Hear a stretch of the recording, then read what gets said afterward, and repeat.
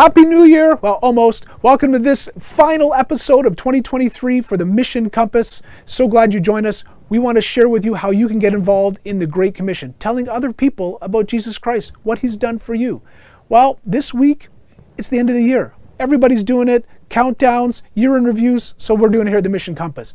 I picked some of our best guests, our best stories of the year of 2023 to share with you today. We got some milestones to share with you, some new partners, some mission trips, all different ways that people have chosen to tell others about Jesus Christ and God's love for them. Year in Review, Mission Compass. It's all about getting involved. Bonnie Sala joins us with a great testimony from the Guidelines Ministry. And hey, subscribe, like, notify. You don't want to miss an episode of this. We're going to kick off next year with a bang, but this year, sit back, relax, enjoy our year in review here on the Mission Compass. Welcome to Galcom's Mission Compass podcast. To learn more about Galcom and our guests today, visit galcom.org.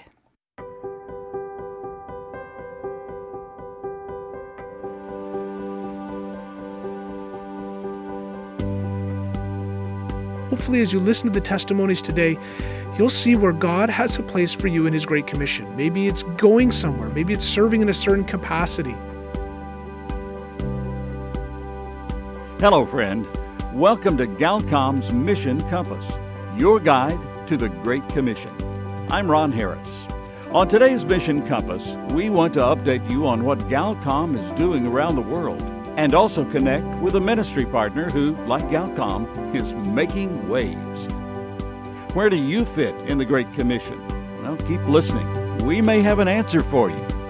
And here's your host, Galcom's Tim Whitehead. Well, thank you, Ron. And friend, welcome to a very special edition, a year in review here on the Mission Compass. We've been looking back at our records and our notes and seeing that God has done incredible things through the ministry of Galcom and through our partners around the world. And we wanted to share them with you. Some milestones from some of our partner ministries, some of the trips that we've been on and what God has done. So just sit back and relax. I'm going to be sharing some little elements of some programs that we recorded over the past year to show you just what God has done. Again, just to encourage you in your faith. Friends, this is called the Mission Compass. We want to point you in a direction to serving God. And hopefully, as you listen to the testimonies today, you'll see where God has a place for you in His Great Commission. Maybe it's going somewhere, maybe it's serving in a certain capacity. Uh, we just want to introduce you to our friends and the different opportunities that they share about how they serve God. So, without further ado, some of the milestones. Well, earlier on in the year, our friends at Far East Broadcasting in Korea we're celebrating the 50th anniversary of the Billy Graham Crusades. Way back in 1973, perhaps the largest open air campaigns ever, ever on earth. Uh, Billy Graham headed over to Seoul, South Korea, and a pastor there by the name of Billy Kim was his translator. So we spoke to Chung Soo Kim, who handles all the communication of FEBC Korea with its foreign partners, about what that meant, what that event was all about, the impact it's had. And so here's Chung Soo Kim. Well, Billy Kim is an uh, ordained minister born in Korea in 1934. And during the Korean War, he was befriended by U.S. Sergeant Carl Powers. Uh, somehow, Billy Kim became houseboy. Back then, there were hundreds. Sergeant Carl Powers singled him out and uh, befriended Billy Kim and helped him go to school in America. During the war, can you believe that? Huh. So his passport was written in handwriting. so uh, he went to school in the US, Bob Jones Seminary, and came back as missionaries. In 1973, Billy Graham had crusades all over the world. Mm-hmm. But in 1973, particularly in Seoul, that was by far the largest of his crusades, among crusades. Yeah. So, two Billies, uh, they say, you know, he did a great job, he being Billy Kim. Of course, Billy Graham did a fantastic job. Through that event, well, it was a five day crusade. Mm-hmm. Yeah, not just one day. Yeah, over 3 million people over the five days, the biggest crusade ever. Exactly. They say 3.2. And the last day, final day, more than a million, they say it was a great milestone, great event, and that uh, sparked the uh, evangelization in Korea. uh, through which megachurches were born. In fact, their largest Presbyterian church is in Korea. The largest Methodist church is in mm-hmm. Korea. The full gospel or assemblies of God. So uh, that was 1973 Billy Graham crusade. At that particular time, Billy Kim was so busy flying back and forth to Jeju Island. There's an island down south, often referred to as the uh, Hawaii of Korea, a beautiful island. That's where they were starting FEBC. It's a very complicated story. FEBC was founded in 1945 in California, but but former name of FEBC Korea, HLKX, was founded by U.S. missionaries uh, by the name of Tom Watson. They sort of merged. They were having uh, challenges, and they asked Billy Kim to take over. So Billy Kim became the uh, director of HLKX and FEBC Korea in 1973. So, absolutely, congratulations to our friends at FEBC in Korea and, and just the wonderful celebrations there of the 50th anniversary of the Billy Graham Crusades that really sparked a worldwide evangelistic movement. In fact, there are more missionaries from South Korea than all of the Western uh, world, America, Canada, Great Britain combined. So, what a tremendous testimony of what this crusade started a great missionary movement, a great church movement, as Chung Su mentioned, as well as the real work of FEBC. But whenever you think about Korea, you always got to talk about North Korea. So I spoke with uh, Mr. Kim about what the impact has been, what kind of feedback they get as they specifically target North Korea with their gospel broadcasts. Well, in the past, we received a lot of physical letters from our listeners that are in China. In China, there's a lot of ethnic Koreans, uh, especially along the border between North Korea and China. We have about 30,000 North Korean defectors living with us in South Korea now. North Korea is the world's closest society or regime, and we are not allowed to exchange letters. Well, if we get letters from North Koreans, they are probably temporarily in China or other parts of the world and they're sending mail to us.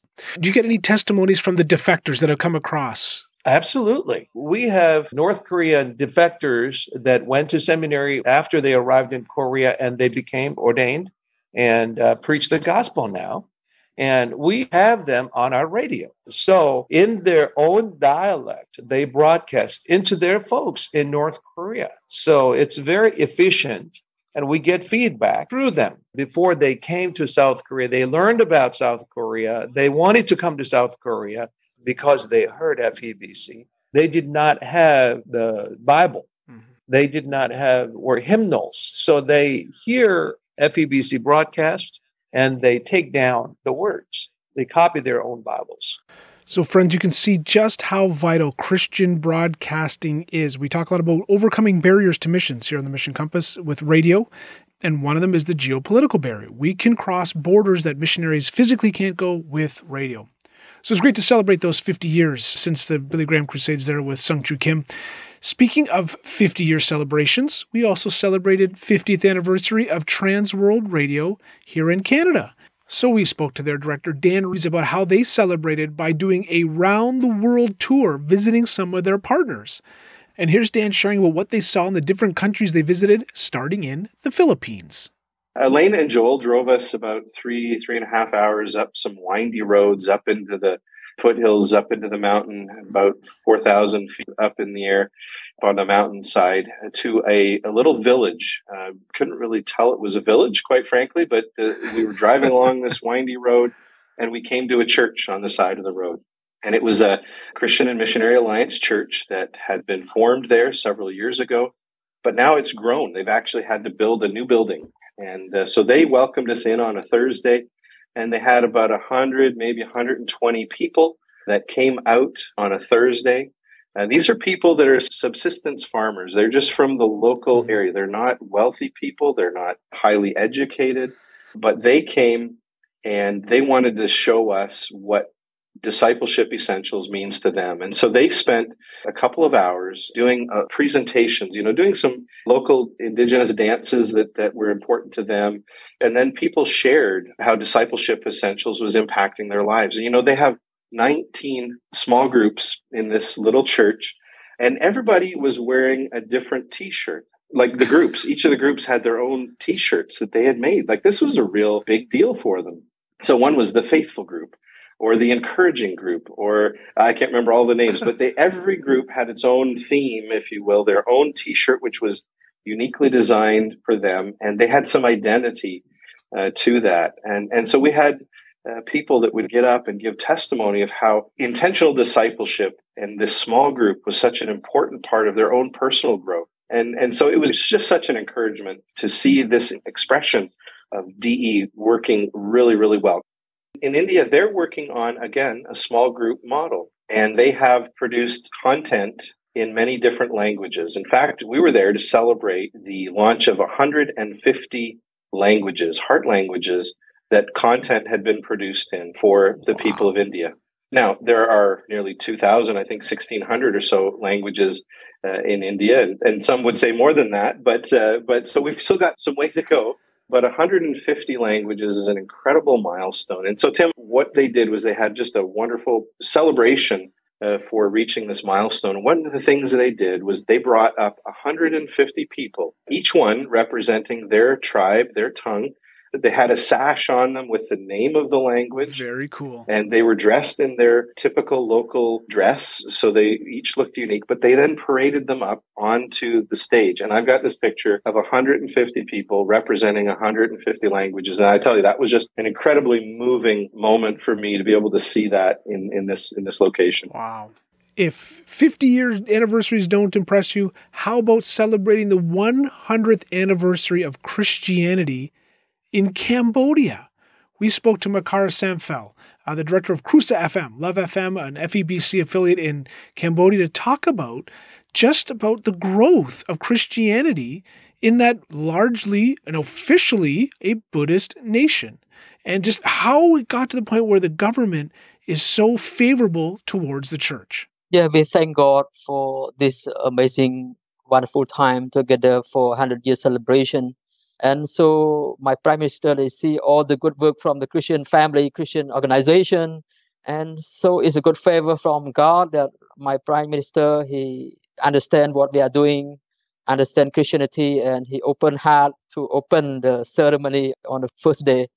And really appreciate that so much after I got done just being amazed that the government endorsed the Christian work there so much and was celebrating with them, uh, we started talking about uh, the nuts and bolts of how they do their ministry in Cambodia. And one question we often get asked at Galcom is about follow up. Sure, you're broadcasting in radio, but is anybody listening? How do we know if, if anybody's responding to the gospel message? And so the ministry team there in Cambodia has a wonderful way of following up with the radios they distribute and the programs they offer. Yes, so what we do here, we have our audience relation team that we are going out to the provinces uh, every month do the program follow up and we always work partnership very closely with uh, churches around cambodia. We don't want to do alone. We always uh, partnership with a local pastor there. Later on like we keep uh, checking asking the feedback from the pastor Sometimes they call to us because they have our phone number. They call to us that they are listening, and so we have through phone system direct follow up uh, with our team. Because Cambodia, we, we can go to every provinces because Cambodia quite small and we can travel a day or two day around. We broadcast and we also uh, give the feedback. I have to say, living in Canada, I find it amusing that they can get all around Cambodia doing follow up in just a day or two. Uh, but we really appreciate our partnership with all of these ministries and what they're doing on the ground, getting the gospel, and we're proud to be part of it. We've got more stories about our direct involvement through our mission trips. But before we do that, Bonnie Sala, as she always does, comes and joins us with our Reset devotional. Bonnie, over to you. Although she lived across the globe, the effects of the latest war in the Middle East had come to Zara's community. I'm Bonnie Sala with Reset. What seemed like a harmless protest on a corner in Zara's neat suburb had ended with a man down on the sidewalk, bleeding, and hours later, dead. After a tense discussion about it with a neighbor, Zara felt exhausted. Each morning, some are waking up to rubble and debris strewn across their homes. Others wake to missing children and racking grief over a beloved friend. We were not made for this destruction and hate. We feel its alien agony wreaking havoc. And yet, in this darkness, the Bible tells us how to live as children of God, shining like bright lights in a crooked world. It says that God's light shines in the darkness, and the darkness can never extinguish it. In these times, we hold together by fixing our thoughts on what is true and honorable, and right and pure and lovely and admirable. Scripture directs us to think about things that are excellent and worthy of praise. There are many broken places in this world where division and bitterness are pouring in, yet these are also entrances for light and love. You and I can pour kindness into chaos, even just in our tiny corners of our world, in simple ways, like answering gently when someone speaks harshly, making sure the people around us know that no disagreement can change our love for them, or sending someone an encouraging text, making food to share with a neighbor, hugging family and friends, telling them you love them, apologizing if needed, and forgiving if needed. When darkness closes in, we cling to, choose, and radiate God's light. I'm Bonnie Sala with Reset. To read, share, or hear this again, or to find more resources like this, visit guidelines.org. You may be listening to us on your computer, but you can also find us on your smartphone using Spotify, iTunes, or other streaming platforms. Just go to galcom.org and choose your favorite. Make sure to subscribe, follow, and share our podcast. Thank you, Bonnie. And friends, if you do want more resources, we actually have some here. Uh, if you would like to write to us and get a month's worth of Reset devotionals sent to you, we'd love to send that to you right away to just encourage you in your faith. And of course, visit guidelines.org for all of their other resources. Well, we've been celebrating a year in review here on the Mission Compass, all what God did through our program, through the ministry of Galcom. And one of the big things for us was our first mission trips. Since 2019, it was so good to get out face to face, working with our partners, handing out our radios. Our first trip was to Oaxaca, Mexico. And Al Wyatt, our missions team lead, led that trip. And so he has some stories to share about the ministry in Oaxaca, Mexico. So, yeah, it's on the south side of Mexico, uh, bordering onto the Pacific Ocean. Mexico has over 300 languages, and over 120, I believe, are in the state of Oaxaca. So it's very linguistically diverse. Uh, a lot of people think, oh, go to Mexico, speak Spanish. But where we were, Spanish didn't do very much. I'm used to traveling in South America and used to being able to communicate with people, but in the areas where we were, people were speaking other languages. In fact, to get to the Mixe, which are only an hour away from where we were staying in Mitla, we go past two other language groups. So in just 15, 20 minutes, uh, you've got two completely different languages. You can see from Al's comments the the sheer task that Bible translators have to reach all these different people groups in this small area uh, with the good news of Jesus Christ. But I asked him, even if Wycliffe and Bible societies were to translate the Bible, what was the literacy rate like? I questioned everyone I met, including pastors, and not one of them could read the Bible in Mixe. I've said it before, I'll say it again. Radios, audio Bibles, is the most efficient way to get people the gospel. Well, from Oaxaca, Mexico, we go over to Bolivia, to the high Andes where the Quechua live, had a great conversation with Alex Muir, our longtime partner with Pioneers, about the number of people and his impact in Bolivia with mission trips. Oh, yeah, I have an arm length of statistics. We have had 332. Now, some of them have gone as many as 10 times. Uh, one couple actually have gone, each of them have traveled 11 times.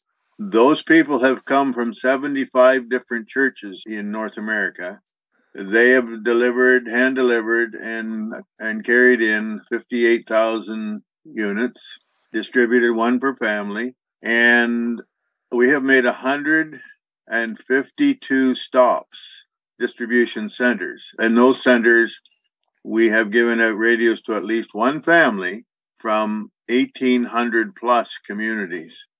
Friend, I keep on saying everyone has a part to play in the Great Commission. Maybe consider going with Alex down to Bolivia this coming year. You know, earlier in the program, I mentioned about how we get asked about follow up. How do we know people are listening? And our friends in Cambodia and their extensive follow up program. The next most common question we get is How durable are your radios? How long do they last?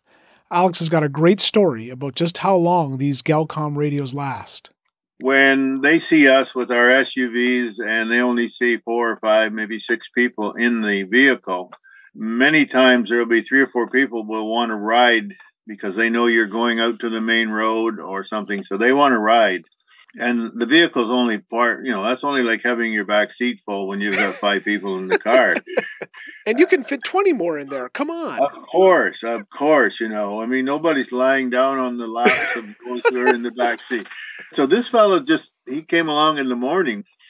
He was a seasonal worker. He had come from the city, from Cochabamba and he'd gone there for potato harvest. Well, harvest was technically over, so now he was looking for a ride out to the main road so he could go back home. This man's name's Elias, and he gets in the back with Hector, and away we go. In the whole thing, I'm thinking, I'm driving along, and I'm thinking, okay, we, first thing we got to do is find out does he know the Lord? And if he doesn't know the Lord, then we got to make sure he knows who the Lord is before we get to the main road. Mm-hmm. Well, as I'm thinking that through, Hector's processing my thoughts. He's in the back seat saying, you know, uh, do you know Jesus is your, your savior? Oh, yes, I know him. Oh, you do? Oh, when did you trust him? Well, I've known Christ as my savior for, for about 15 years. Oh, well, how old are you now? I'm 45. Oh, well, that's good. In fact, he says, I've got my radio with me. And so he pulls out this radio and it's the 1949 model. I mean, that radio goes back. Uh, well, actually, it's order number 649, and I think we're over 2000 now. We are. So I'm going to look this up, how old this radio is. So, anyway, he gets the radio out, and uh, this is the old Goyi radio. It's got no solar panel on it, it's just got double A batteries in it. So he's running it off of double A batteries. How long have you had it? Well, I've had it 15 years. And his parents had it before that.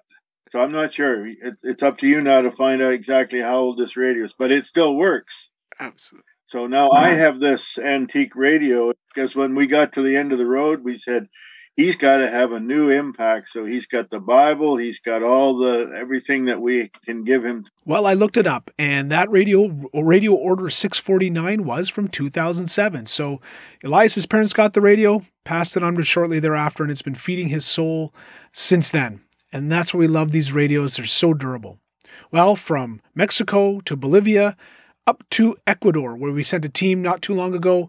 And Gary Jones, one of the team members, uh, asked join us here on the program and just, hey, walk us through what are the nuts and bolts of one of our radio distribution trips. We each took in a suitcase of 100 radios each, and we were distributing those radios in two ways. One way was in local churches, so, a pastor of a church had invited people in the congregation to come to a specific church meeting to receive the radios. But we also went out into surrounding communities and literally walked door to door, handing out the radios to people who had been previously selected to receive them. They weren't just distributed to everybody that we came across um, because we obviously wanted to to have the radios go to a good home, as it were, and, and be used. That was fantastic. And it was a really neat experience going out, meeting people where they were, doing what they were doing, and just sharing a radio with them. It was fantastic. So one day we took off on a two hour bus ride up into the hills to a little town called Saraguro. It's about 9,000 feet up in the mountains, population of about 4,000. And there we met Radio El Buen Pastor, Radio of the Good Shepherd, and lots of local indigenous communities. And we went to the radio station and we were just introducing ourselves and learning about what was going on there. And at some point in this roundtable conversation, one of our team, Ellie, who speaks fluent Spanish, he went outside with one of the workers from the radio station. And then a little while later, he came back in and the guy that he'd been talking to was just, you could see his whole face was excited. He was just on another level. And, and we didn't know what had gone on. Anyway, it turns out that this young guy has been doing a lot of work, particularly with many of the ethnic population in the very, very rural communities there in the jungle. And they don't speak Spanish, they speak their local language of Quechua. And he was struggling because he didn't have any resources of the Bible in their language. Ellie had just shown him on Ellie's phone a website where he can access all of the Bible, stories, the gospel in story form in Quechua. And this guy came in and it was like, you don't know what you've just done for me.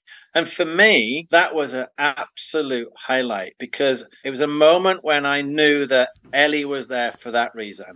Well, friend, before I just uh, hand everything over to Ron and wrap up the final show of the year, I just want to say thank you for tuning in week after week, for praying for the ministry of Galcom and for our partners that we work with, and for supporting the ministry, helping us get radios around the world. But we're called the Mission Compass for a reason, and that's to point you in the direction of serving Jesus Christ in the Great Commission. So, one last time, I want to appeal to you please don't sit on the sidelines. God has designed you and created you to serve Him and to be a witness for Him consider going on a mission trip with us. We've got four planned next year. Alex Muir's got three down to Bolivia. Uh, Galcom USA has got several planned next year. All sorts of opportunities for you to exercise an evangelistic muscle and serve God in the Great Commission. There's nothing more rewarding than seeing someone come to faith in Jesus Christ. God bless you. Happy New Year. Well, friend, we're at the end of our program today, and you've been listening to Galcom's Mission Compass, your guide to the Great Commission. There are many ways to partner with us. To find out more, visit our website at galcom.org. That's Galcom, spelled G A L C O M, dot org.